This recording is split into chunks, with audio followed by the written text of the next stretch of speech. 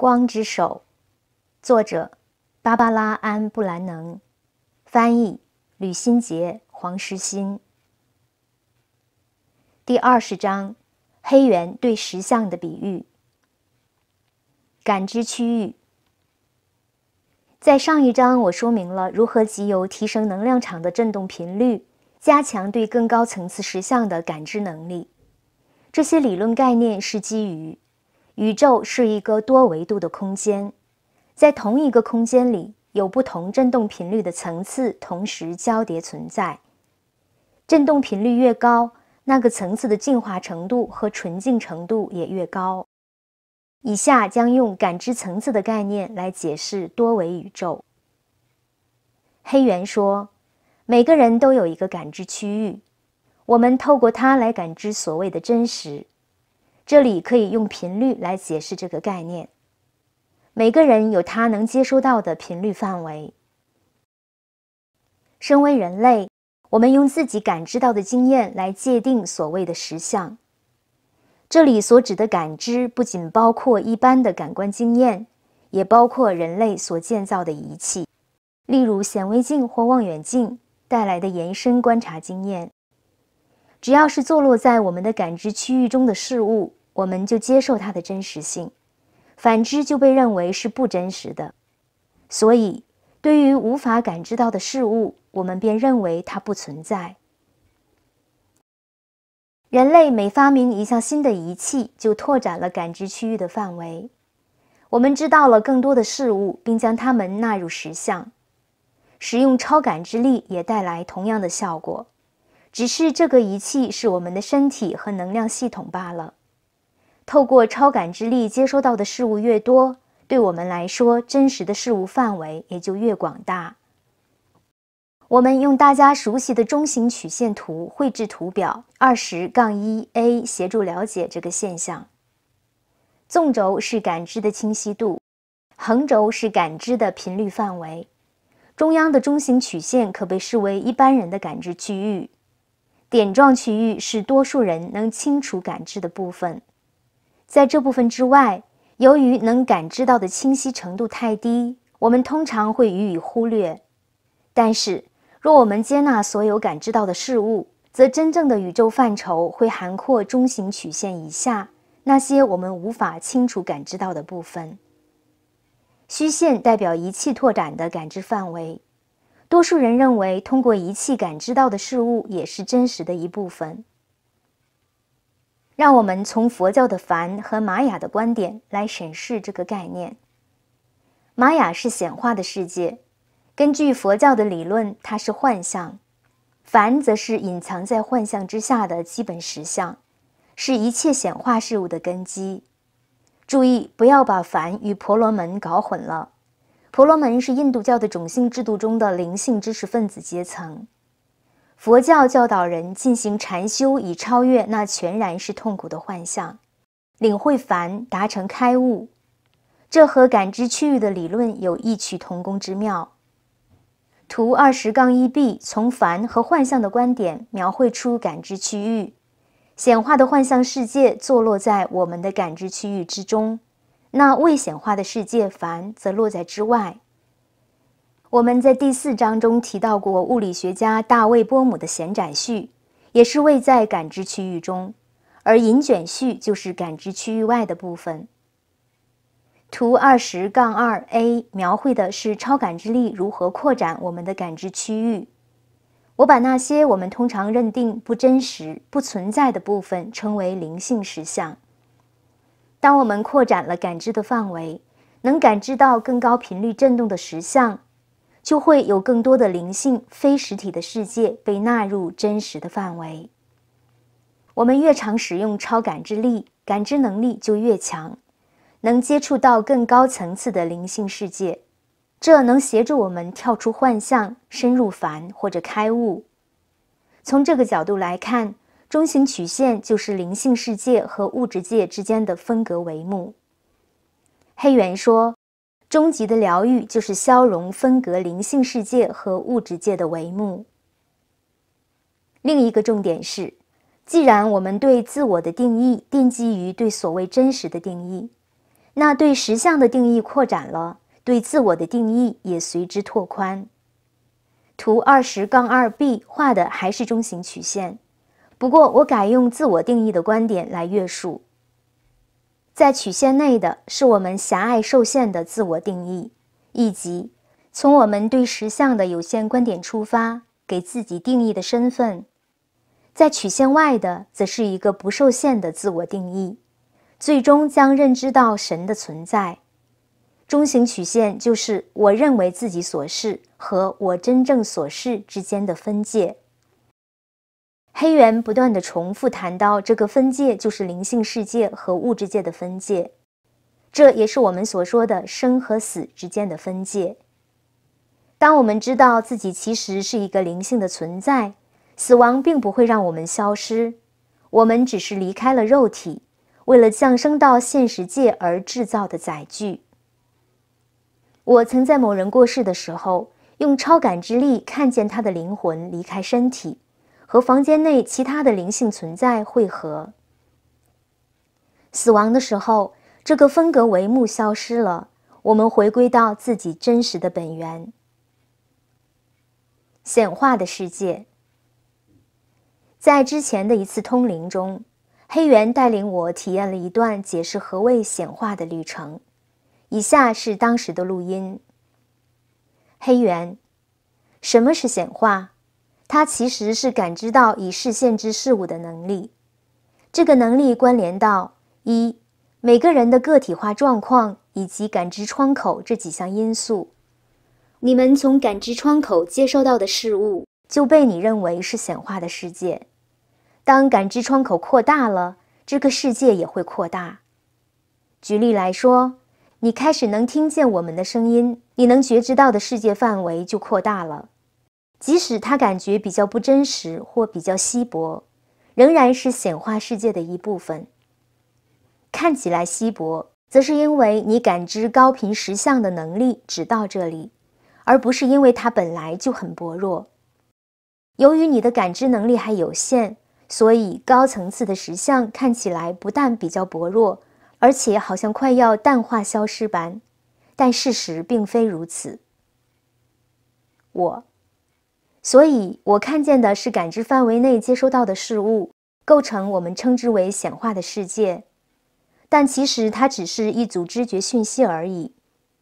如果这个范围变得更高、更宽，或者可以说我们有了更多不同的观看角度，也可以说是经验被拓宽了，那么就能感知到更多被定义为未显化的世界的东西了。哦，它是双向的。我们也可以往低频率的方向拓宽感知。黑源有很多因素导致人类选择将低频率振动视为负面的，或将之描述为负面、黑暗、令人不愉快的形态。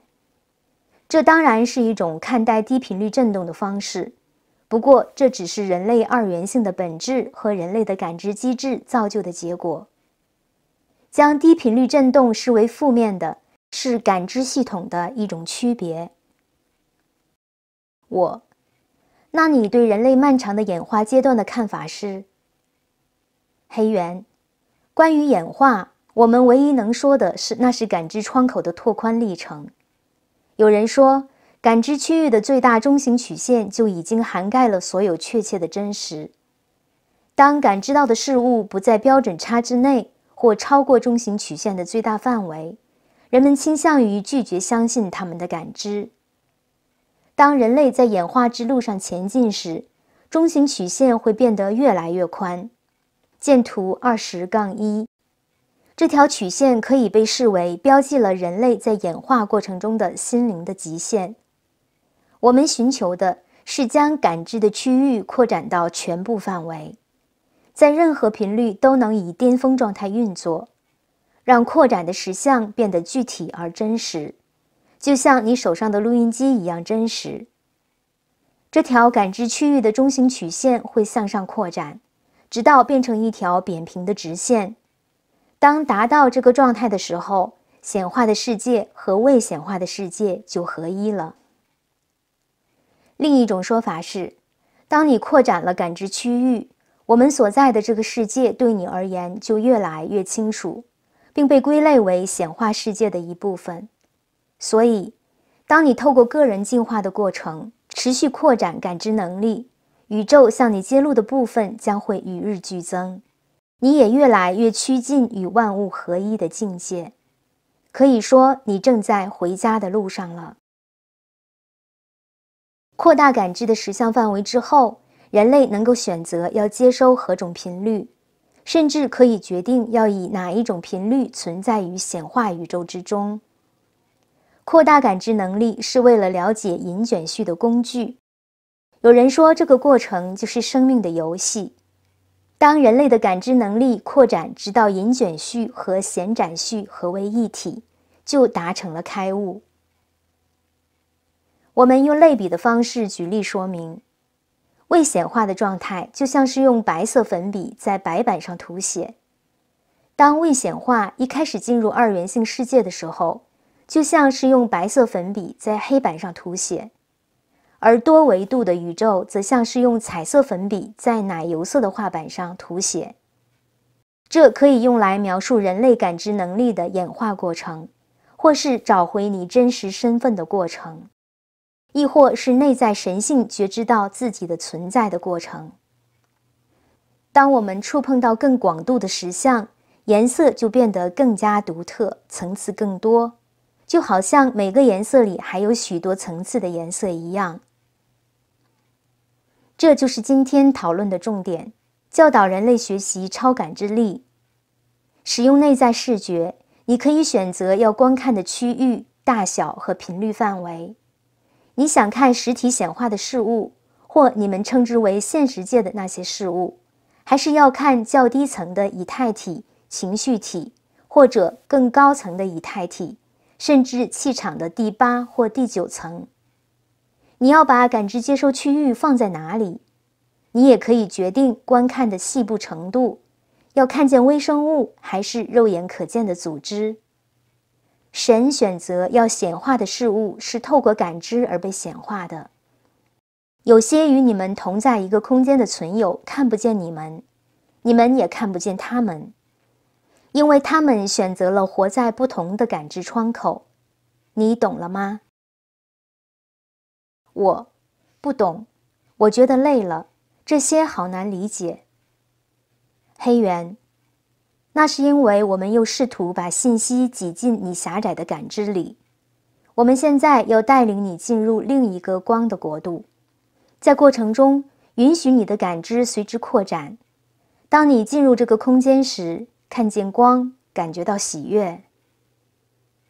随着话语，我似乎被带进越来越高的世界，越是攀升，越是光辉灿烂，越是难以清晰的接收到形象，也越来越稀薄。我的指导灵黑猿带着我不停的上升。我们升高，直到我能够感知的极限。黑猿说。我们正站在至圣所的门前，每个灵魂都渴望进入之地。我看见我的众多前世从脚下掠过，就像黑夜中浮动的茉莉花香。每一世飘过时，我都感觉到一股将目光转回现实界的拉力。那股拉力感觉像是坠落。我试着维持那种临在的知觉，超越我叫芭芭拉的自我身份。超越时间，超越生死轮回。我试着要进入圣所之门，黑猿。重点不是进入，重点是让自己回到你一直都在的地方。这里有无限多个界，是超越时间与空间的存在状态。不用急，这是灵魂的渴望。然后我发现自己正在穿越巨大的人面狮身像双脚之间的那道门。黑猿坐在我面前的一个宝座上。黑猿，我的孩子，当你用“疗愈”这个字眼时，要知道，疗愈即是开启感知的大门，让人们能进入至圣所，与造物者为一体。它是一个过程，带领人们一步一步走向那终极的境地。开悟是目标，疗程只是它的副产品。每一个来到你面前疗愈的灵魂，在最深处都知道，他们所寻求的其实是开悟。你要记住，那些请你提供协助或治疗的人所告诉你的一切，是透过他们的感知途径形成的。他们的感知范围可能狭窄，也可能宽广。因此，他们寻求协助的焦点可能是脚趾酸痛，是带来生命威胁的疾病，或是对真理的追寻。但无论如何，他们真正需要的只有一项事物：回应灵魂的渴望。灵魂正在呐喊着：“带我找到回家的路，带我找到进入至圣所的途径，带我找到永恒的平静。”找到那从亘古以来低语着真理的风。此时我颤抖起来，流下喜悦的眼泪。黑猿常常告诉我，他的名字的意思是“亘古以来低语着真理的风”。现在我明白了，他在这场冥想中带领我进入一种境界，在那里我知道我和他是一体的，我身体里的每个细胞都沉浸在这个觉知中。我是从亘古以来低语着真理的风。黑猿继续说道：“所以，我黑猿坐在这里，披满珍稀宝石，每一颗都是真理，已知晓的真理。我是永世不变的存在，超越时间和空间，超越混沌。我是已显化的，却尚未显化。我是被知晓的，但无人知晓。”因此，你在这里，还有你们每一个人，渴望用你们有限的感知范围了解这一切。回顾第二十章：一、解释感知窗口的概念。思考题：二、参考黑猿对石像的描述，试着探讨你内在的恐惧之墙，如第十四章所描述。你对自我身份的认定和你真正的本质之间的关系，灵性和物质世界之间的隔阂，或生与死之间的隔阂。三、死亡是什么？四、根据黑猿最后所说的话，你和指导灵之间的关系为何？和高我以及你的神性火花有何不同之处？